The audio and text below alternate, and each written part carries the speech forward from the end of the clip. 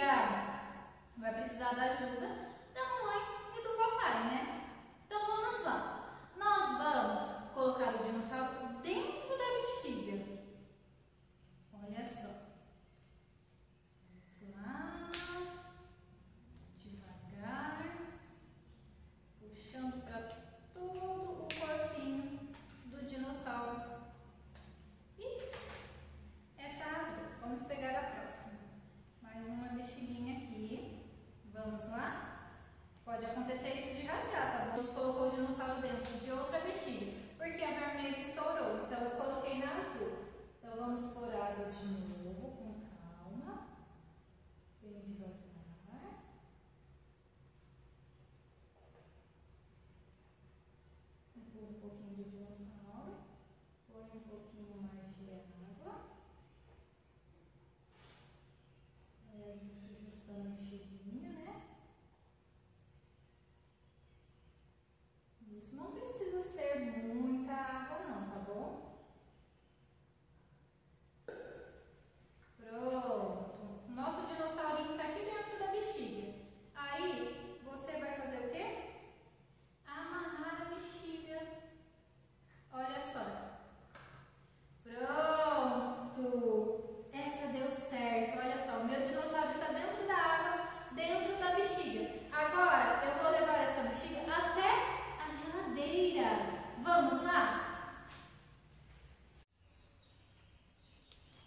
Olha só, turminha, agora que a bexiga ficou pronta, já tá com dinossauro dentro, com água, eu vou pôr na geladeira, tá bom? Olha só, vou colocar dentro do freezer, aqui dentro do meu freezer, tá?